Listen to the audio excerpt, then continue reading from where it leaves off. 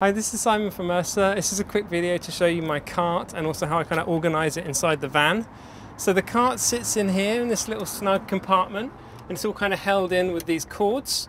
Uh, when we need to get it out, we just unclip it, pull it out. We also organise some other things here down the side where you get boom poles. You can just pull out boom poles from here and also umbrellas and stands and stuff. Normally a Magliner would go in the centre of this trolley, uh, in the space. Uh, other things are like little tubs for cables, all sorts of tubs for radio mic accessories, lots of other boxes would go here and here. And also up at the top is a tent for keeping dry and warm. And I'm going to show you guys that in a bit, how to build that and how that's sort of part of the whole rig for the trolley. Right, let's get this thing out.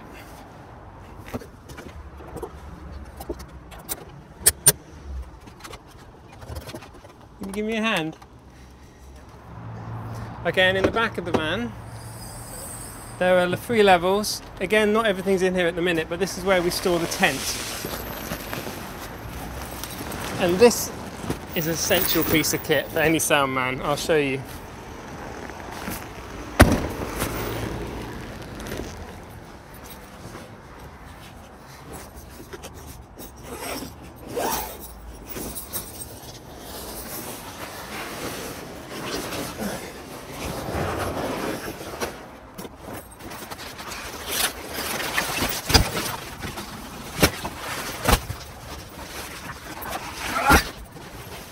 Hey!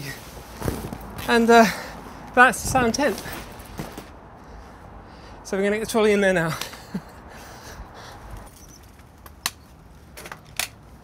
Just going to put it right in the middle. Okay. So always on the trolley I've got an extra pole just to gather atmosphere and stuff. So this is called my Atmos boom. This will just be kind of sitting on the trolley or be extended out from the trolley. The aerials being inside the tent means I can't lift them that high. So I'm going to show you what I do with an aerial stand. So I'm just going to take the aerials off. Off them with the trolley. Take all the off.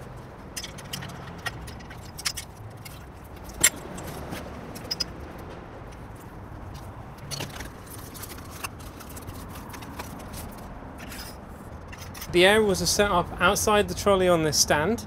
So we just come out here and we've set the aerials up there. That allows me to move them around. The length of this is about seven meters, so I've got a fairly decent length for the aerials.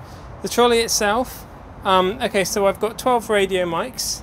So we've got the Lectrosonics SRBs on top, and we've got one Electrosonic audio limited A10 receiver here.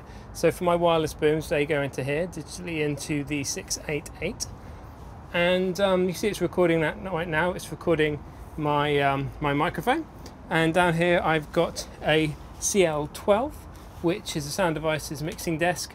So that's all basically running uh, my radios using this little uh, sort of velcro system where I can just kind of flip people's names across and easily access different people's names and put them along this sheet here uh, using the Sound Devices Wingman on this um, iPhone uh, uh, to just primarily for that, and also obviously use that for notes. And down here, um, we've got a uh, shelf, and I've got all sorts of gubbins in here. Uh, things like compact flash card readers, RF explorers, um, all sorts of other useful things. Always important to smell good on set.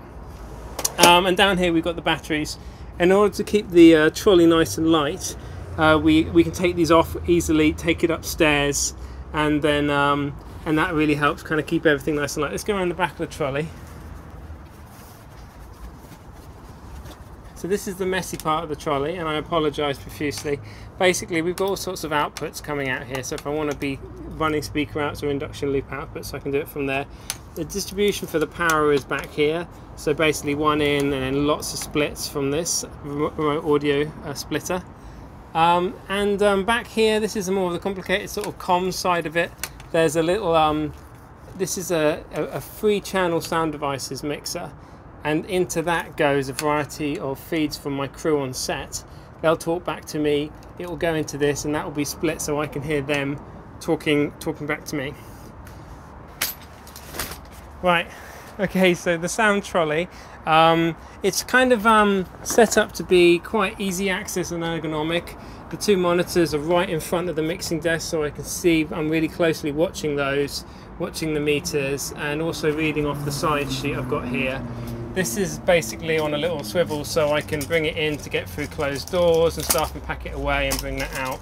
So it's easy for me to just sort of kind of quickly read it uh, and also I quite like paper rather than having it digitally. I like to be able to scrawl all over it and stuff. And the fastest way for me during takes is I might scribble out a line or put no good or something like that during a take. So I quite like to have it all on paper. So I use these HD26 headphones and these are great because they've got an inbuilt flip down microphone.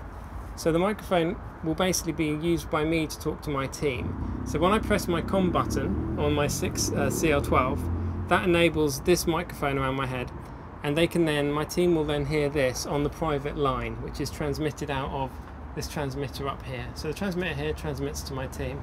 Then when I want to hear what my team is saying to me, they're also wearing these headphones. They flip down the mic on their headphones, speak into it. They're wearing a transmitter that gets received by one of these units up here. This then goes to a mixing desk at the back of the trolley. And when I press my return button, here, this return button here, because it's lit up, then I can hear what my team is saying back to me and we can all communicate at the same time together. So I'm talking, they're talking, it's like a normal natural conversation. And that's really great that we can have kind of flowing conversations between takes uh, to quickly organize and figure out what we need to do. So that's how we do it. We use this button and that button, and without that, it would be really difficult to get our jobs done quickly.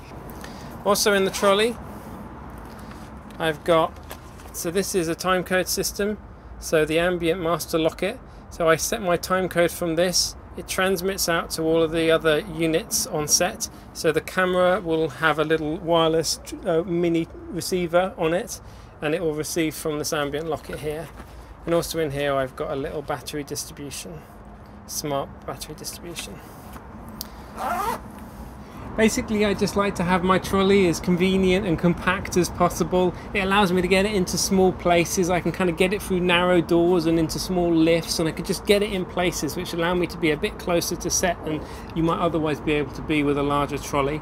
So yeah, it's all just about convenience and speed and it's very personal to me in the way I like to work. Other people will have completely different rigs and that's absolutely fine because everyone works differently. There is no right or wrong way to do the way to do the way you work. It's just down to personal preference. Um, but this has kind of developed over years of kind of trial and error and tweaking and adjusting little things. And I'm sure if another job comes along that has a completely new requirement for me, uh, I'm going to be ending up changing this and it's going to look like something very different in a couple of months' time. So, right now, uh, 2020, um, this is how it looks. I hope this has been a useful video. Thanks very much.